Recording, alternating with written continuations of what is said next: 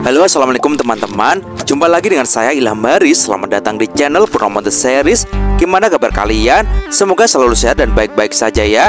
Kali ini kita akan meneruskan merangkum manhwa Si Singchi prequel dari Raja Gila Asura part 28 ya guys. Dan gak usah berlama-lama lagi langsung saja guys Cuy. Scene diperlihatkan salah satu prajurit surga yang melapor kepada Kaisar Sitian bahwa para jinggang dan penembak jitu telah terbunuh dalam pertempuran dan bawahan mereka juga telah hancur total sedangkan Hagan terluka parah dan sedang dirawat di pemandian surgawi. Dan beberapa pasukan tentara surgawi yang bertempur dengan Asura kini telah mundur sisanya sudah mendarat dan kembali ke surga. Disitian pun lalu bertanya bagaimana korbannya. Prajurit pun menjawab kalau mereka belum bisa memperkirakannya akan tetapi, diperkirakan setidaknya ada ribuan orang telah mati dalam pertempuran dan ada lebih dari 10 ribu yang terluka parah. Dan pasukan perawatan medis telah membawa mereka kembali ke surga. Di antaranya ada Jenderal Barat dan Jenderal Timur. Kaisar Sitian pun lanjut bertanya, "Terus bagaimana dengan front lainnya? Apakah ada kabar?" Prajurit pun lanjut melapor, "Para dewa yang dipimpin Swanzong, Palu Emas dan Tiga Mata telah kembali." Tentara surgawi menderita sedikit kerugian di jalur ini. Dilaporkan bahwa tiga mata hampir mengalahkan Raja Karakanta. Akan tetapi, mata tiga kembali mundur untuk menyelamatkan dua dewa lainnya. Dia tidak terluka dan telah diminta untuk kembali ke medan perang. Mendengar hal itu, Kaisar Sitan pun lalu berkata, Hmm, tiga mata ya. Aku sudah merasa bahwa dia berbeda. Mengapa aku tidak menggunakannya dari awal? Akan lebih baik jika dia ada di sisiku. Sisa tentara surgawi telah mundur dan saat ini telah dikirim oleh Jenderal Utara Samentian. Itu menjadi front pertahanan terakhir surga. Bel alarm surga telah berbunyi. Istana surgawi sepenuhnya sudah siap untuk perang. Luho akan datang. Bagian depan istana surga tidak boleh runtuh. Dan kini Permasyuri pun lalu berkata, Kaisar Sitian Mohon maafkan aku jika banyak bicara. Musuh kita hanyalah Raja Asura. Mengapa kita mempersiapkan sampai seperti ini? Sitian pun langsung menggebrak tempat duduknya dan berkata, Hei, kamu salah. Meremehkannya sama saja dengan bunuh diri. Aku dan tiga Raja Surgawi dan bahkan semua dewa jatuh di tangannya. Kita harus melakukan semua ini untuk menyambutnya. Bersiaplah untuk invasi Asura dia pasti akan datang. Sin lalu beralih saat ini. Tata kata menghantam jalan emas. Di situ ia lalu berkata, "Ini benar-benar sulit. Jika tidak hati-hati, pasti akan menderita kerugian.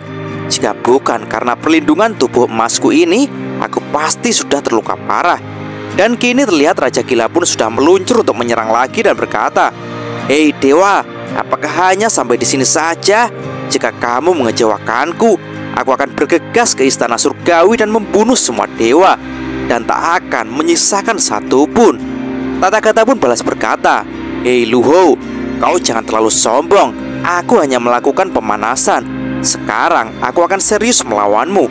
Tata kata pun kini bangkit dan maju. Raja Gila pun berteriak Ayo Dan madahuar Rak rak. Benturan antara pedang Raja Gila dengan tubuh Mas Buddha Tata Gata pun sangat keras Terlihat pedang Raja Gila mengeluarkan percikan untuk mengikis tangan emas. Tata Gata pun segera melayangkan pukulan dengan tangan satunya lagi dan dahuar. Pukulan itu memecahkan blokir dari Raja Gila. Tata Gata di situ pun lanjut berkata, saat api tempurnya terbakar, kerusakan yang disebabkan oleh pertarungan akan segera dipulihkan. Efektivitas tempurnya ini bukan hanya pertarungan antara aku dan dia, tapi juga tentang pertarungan dengan api jiwa untuk mengalahkannya. Hanya bisa menyerang dengan keras terus menerus tanpa jeda sampai dia hancur. Satu dua iya matikan api ini. Dan dahua dahua dahua dahua dahua dahua. Kata-kata pun tanpa ampun melayangkan pukulan yang cepat dan bertubi-tubi. Luo pun hanya bisa pasrah diajar oleh tata kata Tata kata pun lanjut menatap dengan serius dan berkata, yaitu sampai tidak cukup untuk meningkatkan kekuatannya.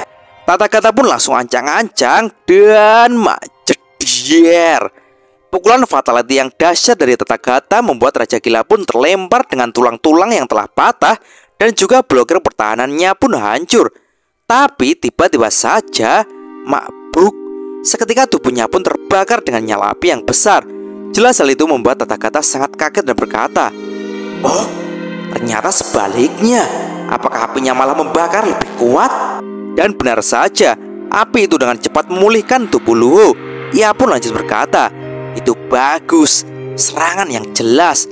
Tata Gata pun di situ masih keheranan berkata Tubuhnya pulih, gagal Tubuhnya kembali utuh seperti semula Dan mauwet Raja Gila pun kini mengeluarkan tebasan-tebasan yang sangat kuat Membuat tubuh emas Tata Gata pun terkikis sedikit. Dan sambil menangkis tebasan yang mengerikan itu Ia di situ berkata Lebih dari itu Kekuatan tempurnya semakin tinggi Dan dahwar. Raja Gila pun kini melesat ke arah Tata Gata Dan maksrak Raja Gila pun kini menebas Tata Gata dengan sangat cepat. Tata Gata pun berkata Sungguh pedang yang berat. Apakah itu tak mempengaruhi kecepatannya? Dan dari belakang Raja Gila pun ternyata sudah melesat kembali Dan maksrak, serak, serak, serak Dengan brutalnya Raja Gila menebas Tata Gata dengan kecepatan tinggi dan membabi buta. Raja Gila pun terus meluncur dengan sangat cepat. Tata kata pun di situ mulai paham dengan kekalahan Kaisar Sitian dan para Raja Surgawi. Raja Gila pun kini semakin menggila. Sambil tertawa terbahak-bahak Ia pun kembali ancang-ancang untuk menebas tata kata lagi. Raja Gila pun berteriak Hei, aku telah menunggu lawan sepertimu. Kamu membuatku lebih tinggi dan lebih kuat Tak berujung, tak berujung Biarkan aku mencapai puncak yang lebih tinggi Melihat hal itu, Tata kata pun jadi kesal dan berkata Sialan, kurang ajar. Aku tidak percaya bahwa aku tak bisa menekanmu. Akan kulepaskan belas kasihanku untuk semua makhluk hidup dan bangkitkan pembunuhan dan kemarahan. Ya, mak blar. Tata kata pun kini mengeluarkan pancaran segel Buddha. Seketika kini muncul pecahan-pecahan emas yang bersatu membentuk sosok Buddha emas raksasa. Melihat hal itu, Raja Gila pun juga segera mengerahkan seluruh kekuatannya Ayo, bunuh aku, teriaknya. Dan mak jeder. Kini benturan keras pun terjadi antara pukulan Buddha raksasa dengan pedang iblis Raja Gila dengan kekuatan penuh. Benturan itu menimbulkan ledakan emas yang besar, membuat jalan emas surga di situ pun hancur. Tubuh Raja Gila pun kini juga mulai hancur dan mak beleng. Sin lalu beralih di istana surga, di mana Kaisar Sitian pun terkejut dengan ledakan itu. Apa yang terjadi? Ucapnya. Tetua di situ pun juga merasa kalau langit sedang bergetar. Dan kini seorang prajurit pun melapor bahwa ini berasal dari Yang Mulia Buddha yang saat ini memblokir Raja Asura yang mencoba menyerang langit. Para tetua pun di situ tampak terkejut. Sitian pun lalu berkata, terus lakukan pengawasan. Jika Dewa Rulai gagal, surga harus segera bersiap untuk menyerang Luho. Dan kini benturan itu tampaknya udah usai. Kata-kata pun berubah kembali menjadi wujud normalnya dan tampak agak ngos-ngosan. Dan tiba-tiba saja Raja Gila pun kini tampak masih berjalan dengan api tempur yang berkobar-kobar setelah tubuhnya hancur. Ia pun lalu menatap ke atas dan berkata, Untuk sesaat kau mengirimku ke ruang antara hidup dan mati. Kamu telah membuatku melihat kematian. Dan Yah, Raja Gila pun kini telah memulihkan dirinya dengan api yang berkobar-kobar. Dan sambil mengepalkan tangannya Raja Gila pun berkata Seluruh darah tubuhku terbakar. Dewa, ayo lanjutkan. Keluarkan kekuatanmu yang lebih kuat lagi. Tata kata pun hanya terdiam. Dan tiba-tiba saja tubuh emasnya pun mulai menghilang Ia pun lanjut berkata Tidak perlu, pertempuran sudah berakhir Jelas hal itu membuat Raja Gila sangat terkejut dan berkata, "Hei, apa maksudmu?" Tata Gata pun mulai turun dan mendarat di situ dan ia lalu berkata, "Aku sudah melihatnya dengan jelas. Ini mirip dengan apa yang aku kira. Esensimu itu adalah api ganas yang tidak bisa dipadamkan. Semua serangan padamu akan merangsang api, hanya akan membuatmu menjadi lebih gila. Mencoba menekanmu itu tidak akan berhasil." Jadi aku memikirkan cara yang lain. Raja Gila pun kini jadi sangat marah. Sial, ucapnya. Ia pun lalu melompat dan bersiap menyerang dan berkata Tidak peduli apa rencanamu. Jika kamu menolak untuk bertempur Hanya kematian yang akan menimpamu. Iya, mak blar Tata Gata pun dengan tenang menghindari serangan itu Membuat Raja Gila pun berkata Jangan pikir kamu bisa menghindariku. Dan what? Raja Gila pun dengan cepat lanjut melakukan tebasan. Tapi dengan cepat Tata Gata pun sudah menghilang dari situ. Dan tiba-tiba saja kini muncul air. Jelas hal itu membuat Raja Gila terkejut. Dan kini terlihat Tata Gata pun menguap.